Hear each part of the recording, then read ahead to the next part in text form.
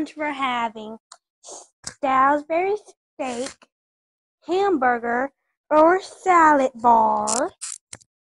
We are also having sweet peas, mashed potatoes, roe, fresh fruit assortment, and milk.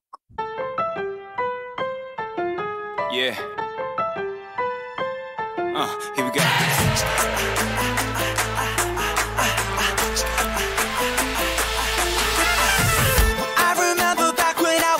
Clever and no one knew my name.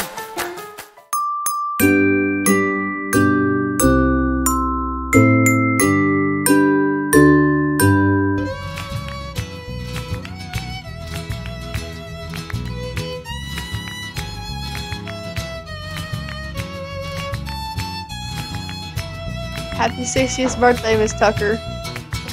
Happy birthday, Miss Tucker. Hey, Miss Tucker, happy birthday, y'all! Happy birthday, Miss Tucker. You're a great science teacher. I love the way you teach. It helps me so much. You're my favorite. I love you. I love your 3D printed art.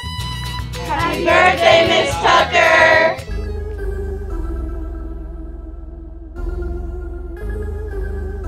If you're looking to survive real ghost stories in true haunted places, we have a wide selection. For instance, Gettysburg. Civil War soldiers aren't the only people who've claimed to see ghosts at Gettysburg. Today, the battle site is a national park. Many visitors claim to have had ghostly encounters. Some have seen a headless soldier riding a horse. Others have heard unseen babies crying and mysterious footsteps. Some people think ghosts are reliving battle scenes of the war. In one building, during the war, injured soldiers' limbs were amputated and thrown out a window. Today, a window in that building vibrates loudly.